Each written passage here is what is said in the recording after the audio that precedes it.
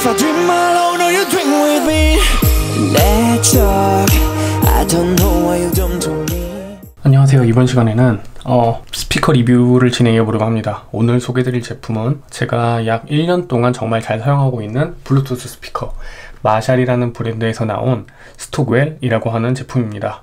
어, 이 제품의 리뷰를 본격적으로 시작하기에 앞서서 마샬이라고 하는 회사부터 잠시 소개를 좀 드려야 될 것 같아요. 마샬이라고 하는 회사는 음, 원래는 앰프를 만들던 회사였어요.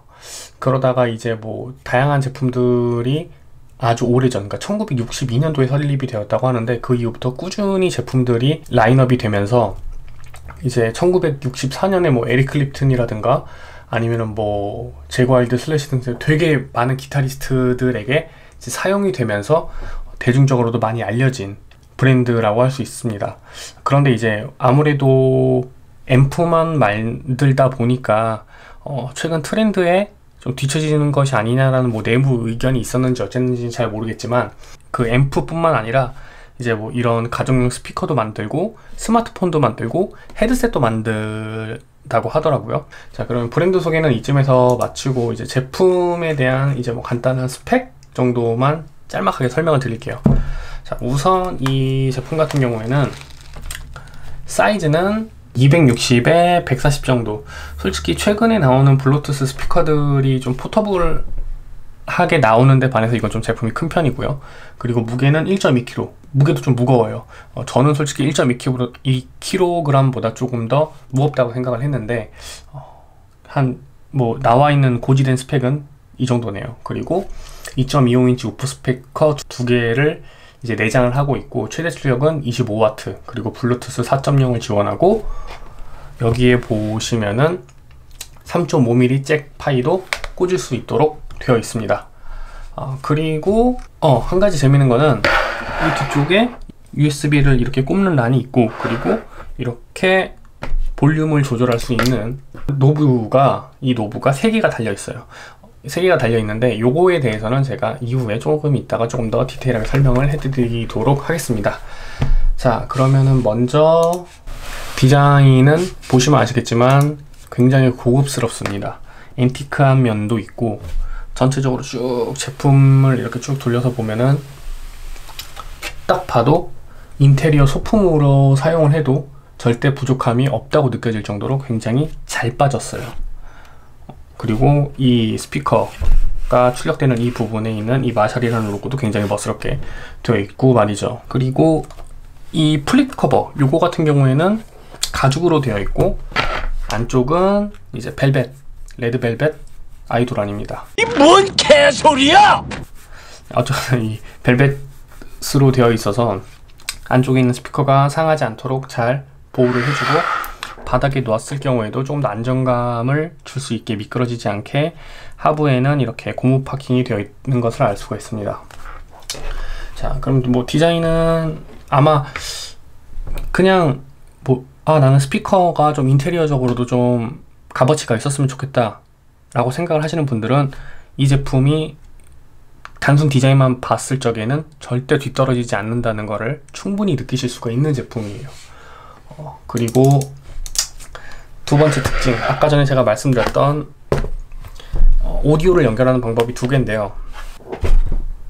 하나는 블루투스로 연결을 할 수가 있고 나머지 하나는 인풋이라고 해서 이제 AUX 젠더를 3.5mm 파일을 이용해 가지고 연결을 해서 들을 수가 있어요.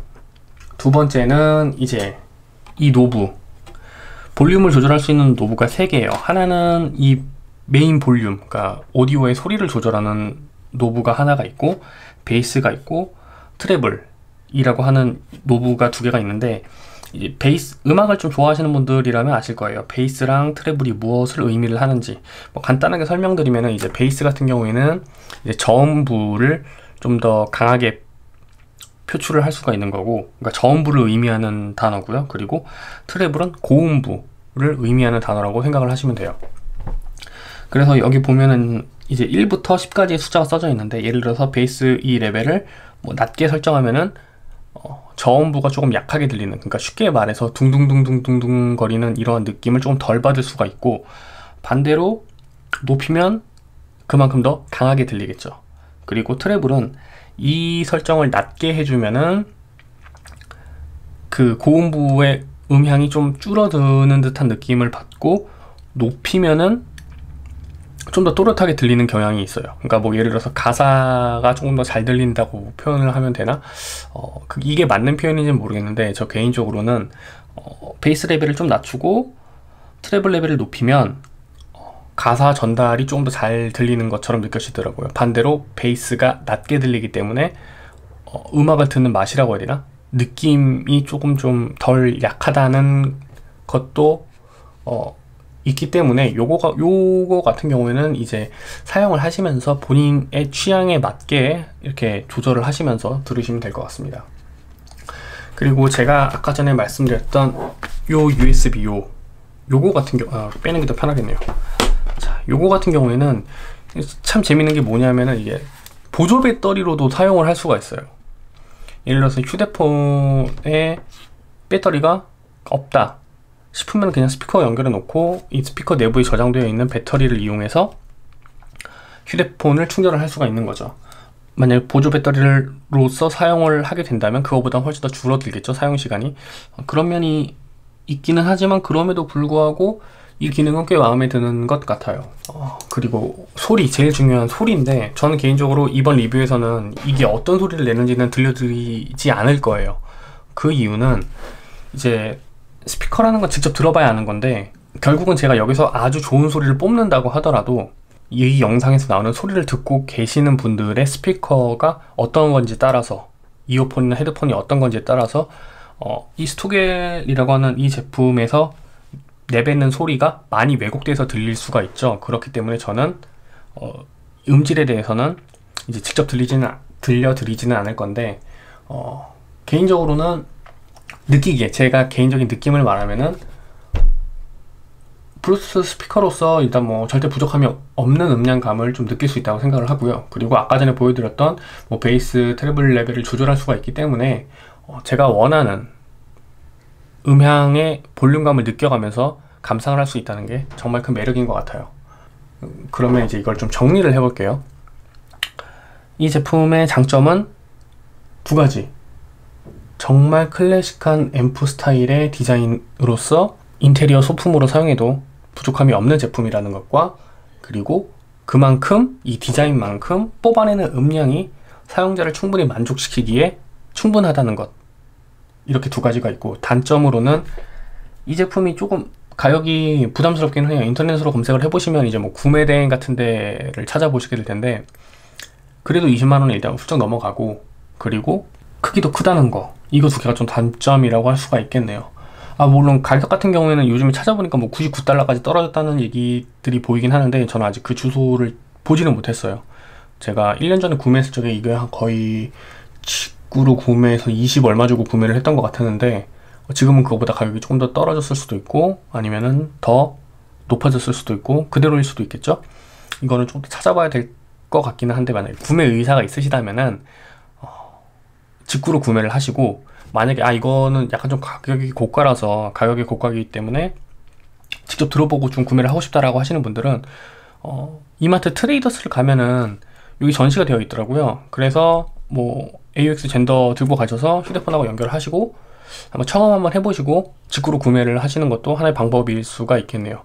어, 트레이더스 일렉트로 마트 들어가시면은 전시가 되어 있다고 제가 말씀을 드렸는데 그래도 혹시 모르니까 한번 방문하시려는 일렉트로 마트에다가 전화를 하셔서 이 제품이 있는지 한번 물어보시고 그 다음에 방문하시면 좀 더 도움이 될 것 같기는 하네요. 그리고 아까 전에 말 다 말씀드리지 못하던 이 크기 크기가 큽니다. 그래서 들고 다니기에는 좀 부담스럽기는 해요. 그 가방에 넣어도 사이즈가 워낙 크기 때문에 부담스럽고 그렇다고 뭐 여기 뭐 손잡이를 걸 수가 있어서 뭐 어깨끈으로 멜 수 있는 것도 아니고 어, 그래서 자주 스피커를 들고 다니면서 사용하시는 분들에게는 추천하지는 못하겠어요. 솔직히. 어, 이것으로 오늘 리뷰는 짤막하게 이걸로 마치겠고요. 어, 지금 뭐 제가 솔직히 말씀을 드리면 카메라 렌즈가 솔직히 불만족스러워요. 그러니까 이런 리뷰 영상을 찍기에는 결국은 제가 뭐 별도의 스튜디오가 있는 것도 아니고 그냥 제 책상 조그마한 책상에서 진행을 하고 있는 거라서 공간 확보가 충분히 안 된 상황에서 리뷰를 하다 보니까 초점도 안 맞고 좀 그런 경우가 부지기수인데 그 부분은 조금 좀 이해를 해주셨으면 좋겠습니다. 일단 이것으로 오늘의 어, 리뷰 영상을 마치도록 하겠습니다. 감사합니다.